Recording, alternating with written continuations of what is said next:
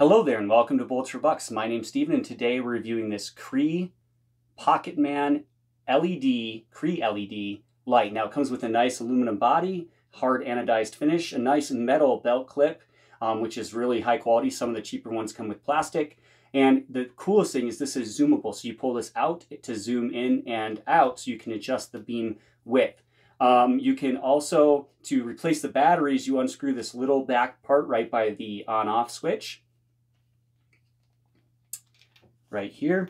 And it's going to take one regular AA battery, which is really handy. Um, this battery is almost dead from use.